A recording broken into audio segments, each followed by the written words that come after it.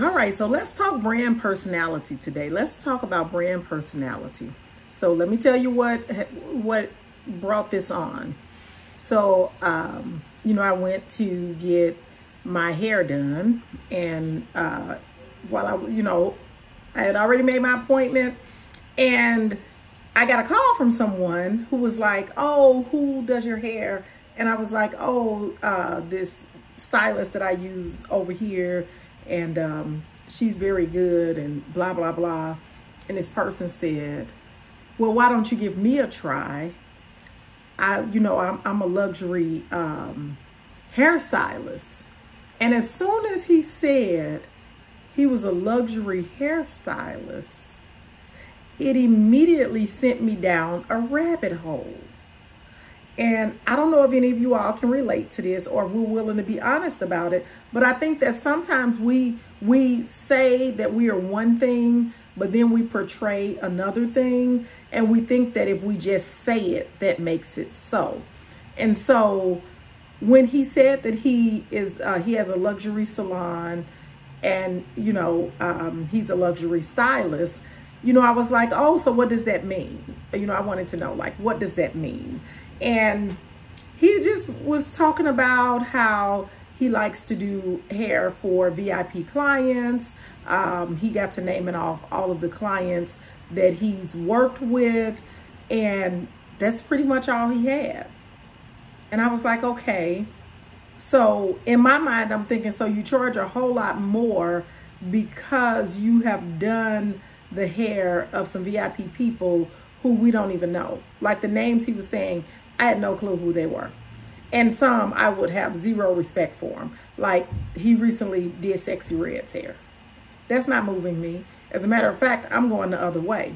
So I thought that I'd come here today and we talk about branding as we are in the process of building our businesses and branding. Now, I, me personally, I think that brands evolve on their own. I could be wrong. I'm just telling you what I believe. I believe that uh, people will say what they will about your brand by the work that you put out, by what it is you create. So I want you to, I'm going to share some brand personalities and some brand energy with you because I think that we confuse the energy that's needed, that needs to go into a brand being a brand. So I'm going to start with the luxury brand since that was the topic of discussion. So when we are talking about a luxury brand, it typically, and think about the energy that goes along with this, the energy that that brand should exude, the personality that that brand should exude. It's more than just saying that this is what it is. We should also feel that that's what it is. It should be communicated that that's what this is. So let me just go into it. So when we're talking about a luxury brand, we're normally dealing with a lot of opulence we're dealing with some indulgence that we typically wouldn't have. There is a total sense of abundance, okay, in a luxury brand. There is exclusivity in a luxury brand. It's not for everyone. Think about your Tom Fords and your Chanel's and your Louis Vuittons and, you know, all of the ones now. I can't think of the bag now that you got to order you can't even just walk in the store and get it. There's exclusivity with those brands. There's refinement with those brands. The folks have worked to make it the highest level possible. There is typically elegance in a luxury brand. It's always coming from high quality material, material that is sourced from a particular location in a particular way. And the crafts the craftsmanship is is just high quality. Like there is a lot of time and attention put into how the thing is made. The, the attention to detail is second to none. There is prestige with it and it typically exudes status. Think about what I'm saying. And then it, it in some ways has to enhance. It has to enhance. So when you're thinking, I want to have a luxury brand. Who are the people that you're catering to? Because those are the people who buy luxury brands. And what is it? How would they know that you're a luxury brand? And so for the example that I gave you, there was nothing about him, the way he shows up, the way he presents himself, nothing about his shop, nothing even about the way that he does hair to say that he's a luxury stylist. There is no, and, like I thought that he was confused with the word that he was using. Truly, I did. I'm not even trying to be funny. I thought he was confused. And so when I said, well, what is the luxury? What's the luxury? And he went into the detail. He didn't know what it was because truly he is confused because first of all, he's not operating from a sense of abundance. First of all, the energy that comes from him, nowhere near a sense of abundance. There is no refinement. There is no elegance. He does not display any sense of elegance. And even the wigs that he showed me that he had created as, as the sample that he was showing me, there was nothing unique about it. There was nothing that stood out about him. There was nothing that will make you say, oh, this right here, this is amazing. I got to have one of those. No, I could go and really get one off of Amazon, and I really don't think you could tell the difference. Even when we talked about what products he uses, he's using the same thing everybody else is using. So I want us to think about that when we think about our brands. But I got a couple more for you because I really want you to be able to identify your brand and be able to speak to it confidently, but also be able to make sure that it's communicating what it is you want it to communicate. Now, you all know I don't claim to have a luxury brand. I am very clear. I have a boutique style brand. I am a boutique style ed consulting company. You can find that on my website. I will communicate that to you. And it's in my info deck. It's everywhere that you look to find me, it shows that I am a boutique style education company. And what does that mean? Normally when something is boutique style, it's smaller. It, there's an association with boutiques and smaller. You you know, you've been to a boutique before. And boutiques normally specialize in they have specialized products or businesses or services that they specialize in. So they they don't have a hundred of anything. Everything is very specialized. Everything is very unique and handcrafted. Everything is unique and handcrafted. There are no mass produced anything in a boutique. You've been to a boutique before. There's typically limited quantity and there is high quality and attention to detail. When you go into high-end boutiques, what what's the difference between a boutique and a Goodwill? Both of them are selling used items. What's the difference between them? How do they look different when you show up there? And then you got to think about the personalized service. When you all think about working with me, how many groups have you all been in where the coach, guide, mentor knows your name, knows about your business, will reach out to you, will call you out, because they actually have worked to develop a relationship with you or at least an understanding of the coaching situation. So that's what's meant by boutique. It's very uh, it's a very personalized service. Even in my consulting, all of my people have my phone number. I know each one of them. I know their wives' names. I know how many kids they have. And it's not just knowing to memorize. It's because we talk. I know the people is a very personalized service. And then distinctive. Boutiques have this, they, they are distinctive. You won't find two boutiques that are alike. You won't find it. That's the purpose of them being a boutique. And they are typically niche focused. You might go to a boutique that focuses on just purses. Or you might go to a boutique that focuses only on authentic shoes, you know, the, the red bottoms or whatever you want to call them. They're typically niche focused. My niche is leadership coaching. It's normally an independent ownership situation. It's not a conglomerate. It's not a franchise situation. It's normally independent uh, ownership. And then there are curated selections. They have seeked certain goods that they would like in the boutique for their clientele. They have curated services, but overall, they're different from mainstream. You will not go into a boutique and find the same thing you're going to find at Walmart, Target, Macy's, or Nordstrom's. They have a lot of the same things. In a boutique, they have curated selections and they are different from mainstream. So you got to understand your brand, what it is you're working to create. This didn't happen by happenstance. This did not happen by happenstance. I'm in a position where I could easily employ 30, 40, 60 consultants, send them out to do the work and rake in the cash, but I wouldn't be boutique anymore.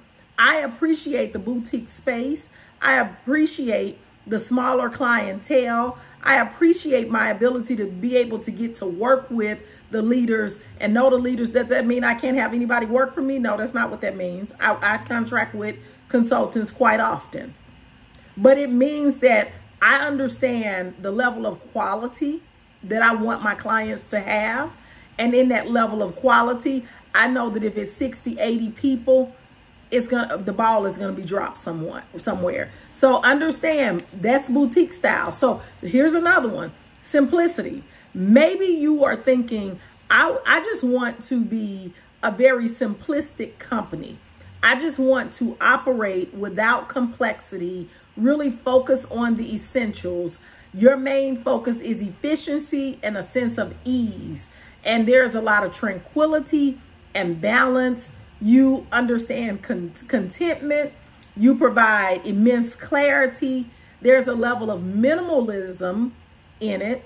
There is still purpose, but you have practiced the art of letting go. The, these are simplistic companies. Your brand could be a very simplistic brand. I want to get in, I want to get out. I don't want all that complex stuff. Let me focus on the essentials, get in here, get out, I'm going to show you the efficient ways to do it. We're going to do this with ease and grace.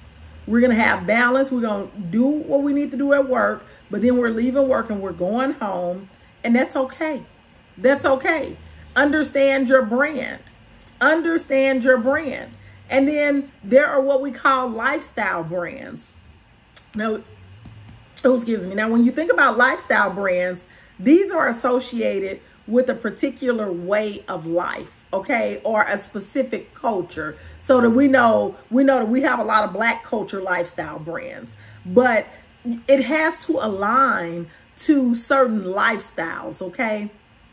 Either values or aspirations. It has to be totally align, aligned. So let me give you an example so you get a better understanding of what I'm talking about.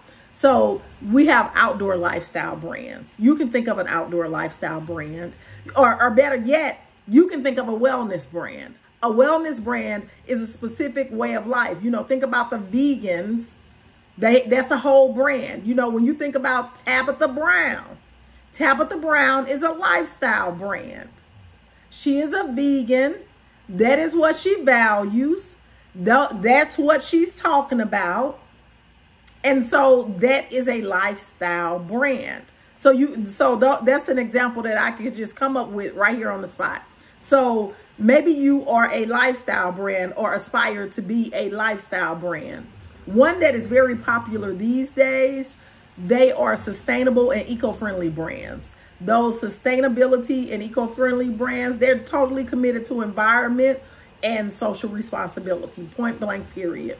They're just eco-friendly. They have ethical practices. They source their materials from certain places. They have rules inside of their business that, you know, speak to their ethics and they have environmentally conscious consumers. People will seek them out to purchase their products because they are an eco-friendly or a sustainable company. And I'm sure you can think of one or two of them right now. All right, so the last one that I'm going to share with you, and again, I'm just trying to give you some ideas to make sure that you understand your brand, what you're working towards, how you show up, how people perceive you, because it matters. You can say it all day long, but that don't make it so. Okay, so the last one is an innovative brand. And with innovative brands, those are brands, and I know you're thinking of one right now. All of us should be thinking of one. As a matter of fact, we should be thinking of two. Uh, they are pushing the boundaries. They are leading technological advancements. They have the design down. They know how to design things in a very futuristic, um, way that is different from what we normally see using extreme creativity and not being afraid to go outside the boundaries. And they are continuously, continuously introducing new ideas, new products, new services that will disrupt the marketplace. Now, I know some of y'all should be thinking some brands right now. And when I said that will disrupt the marketplace, think about Apple. Think about Tesla.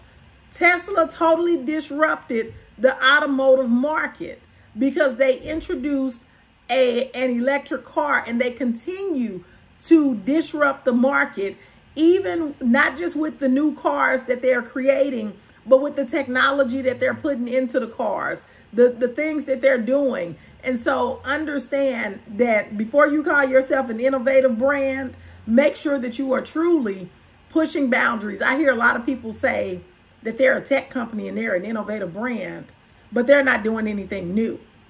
They're not doing anything that's pushing the boundaries. They're not designing anything that is cutting edge. You're just, uh, you're confused about your brand.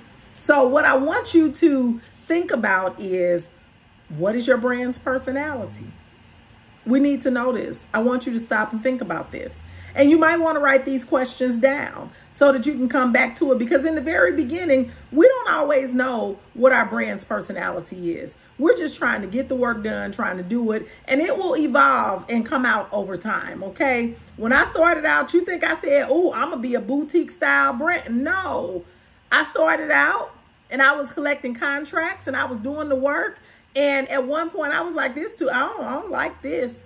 I liked it when I had this many clients and then I had time to do what I was trying to do and I could do this and do that. So then when I identified what it was that I liked, then I said, well, I'm not going to take on more than eight clients in a year if they are big jobs because I that's not what I want. That's not, I don't want that. I don't want to not know the people when I walk into a building. I don't want to just have them as another number or another paycheck. That's not what I wanted. But I wasn't walking around saying, oh, I want to be a boutique brand. And then when I started thinking about my branding and what resonated with me and what I was really doing, and I was like, oh, I'm a boutique brand. I'm a, I have a boutique style business and everything lined up. But like with the young man who was talking to me about the hair, nothing about him said luxury. Nothing about his service said luxury. Nothing about his product said luxury.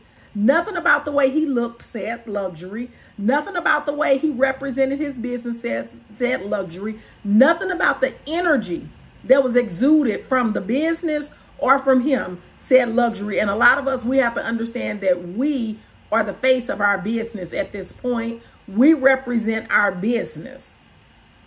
So you have to think to yourself, am I representing what it is I say that I'm representing? So you need to think about how do you want your clients to perceive your business and emotionally connect with your brand? How do you want them to do that? And how are they currently doing that? Do you know? And then here's one of the big questions that I really want you to ponder on. Some of you all probably already know the answer, and others will not even uh, be thinking about how this connects. But what narrative do you tell to convey your story? Your brand has a story. What's the story behind that brand? And what's the narrative that you're using to convey that? Because sometimes we get really confused and we think that we don't have to like a lot of times we want to hold our story close to our chest so that nobody gets inside you got to be able to tell your story you got to be able to tell the story of that brand and we're gonna be real honest here our stories of our brands is not I just don't want to see another kid suffer. I think that every kid should have a right to education. I think that every kid should know how to pick a career. That is not your brand story. Your brand story has to do with you and and what connected you to this work. And so the the sooner you figure out how to walk through that narrative, the sooner your ideal client will be able to connect with you. I am very clear about my brand story. I've been in the school system for 17 years. Nothing was really wrong, but I knew that there was more.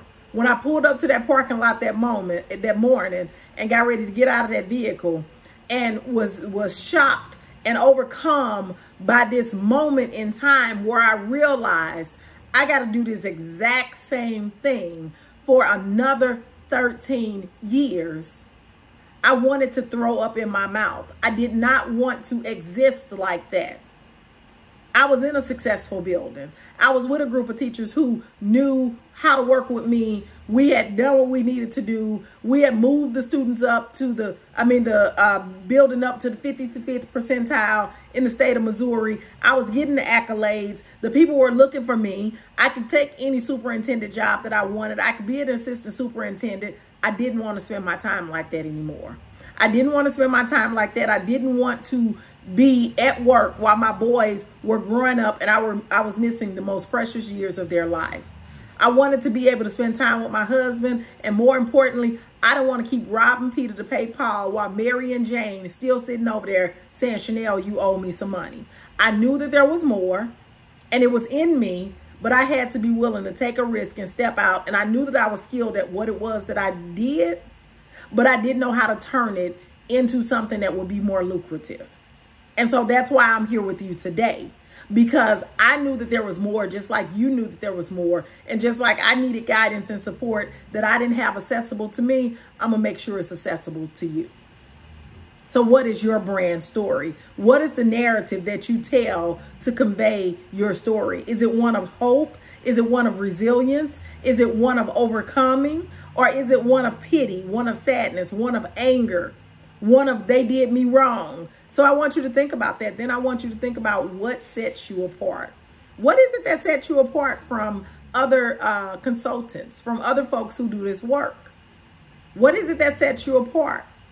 You need to be able to, to know this. You need to know what your differentiators are. And it's not the number of years that you've been teaching because that don't set you apart. Unless, of course, you've been teaching for 50 or 70 years. Now, that will set you apart. But if you've just been teaching for 10, 15, 20, 30 years, honey, you ain't did no more than nobody else done done.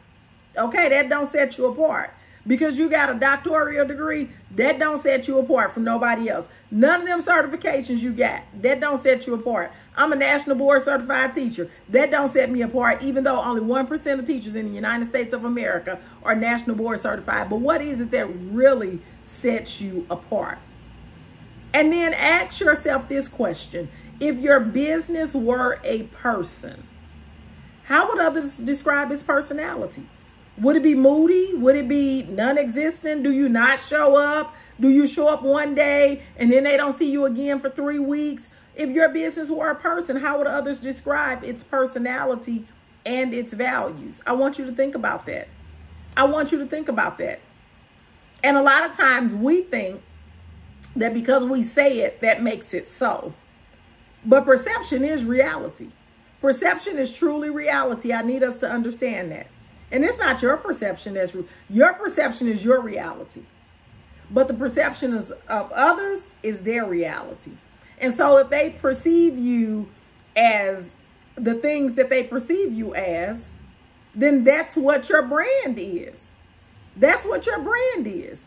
You know, if you don't follow through, if you don't show up, if you're non-existent, if you don't do anything to give your business a reputation, a brand, some values, then people will make up their own.